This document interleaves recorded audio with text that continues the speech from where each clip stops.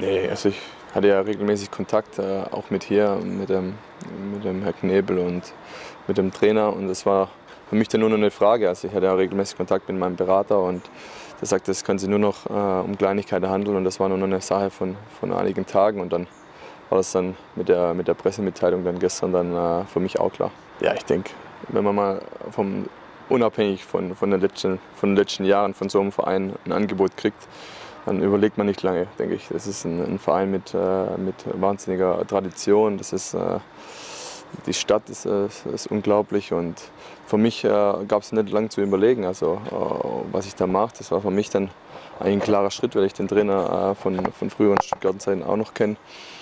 Für mich war das dann eigentlich recht schnell klar. Ja, es war für mich natürlich mitentscheidend, dass ich den Trainer kenne, ich weiß, wie er tickt, was er, was er von einem erwartet, wie er trainiert. Und ich bin richtig gut mit ihm in, in, in zur Stuttgarter Zeit ausgekommen und äh, hatte ein gutes Verhältnis mit ihm, auch wenn ich dann schlussendlich nach, nach Hoffenheim äh, gewechselt bin. Aber das war natürlich mit äh, ein Hauptgrund natürlich, äh, dass ich hierher gewechselt bin. Ja, man freut sich auf die Aufgabe. Also wie gesagt, äh, wenn man weiß, was das Verein, was das ein Verein ist, was, was für Fans das sind, was, was es für eine, für eine unglaubliche Tradition hat und dass der Verein ja da wo die letzten Jahre war, eigentlich nicht hingehört. Und das, das war mit ein Grund, äh, so ein bisschen dieses, diese, dieses Aufbäumen, diese, diese Umbruchstimmung da mitzunehmen und einfach da Teil, Teil davon zu sein, wieder den, äh, das, sagt man, einfach das wieder umzustoßen, wieder auf eine, auf eine andere äh, eine andere Linie zu kommen. Und das war eigentlich der, der Ansporn von mir, dass ich da ein Teil davon bin und, und einfach dabei mithelfen kann.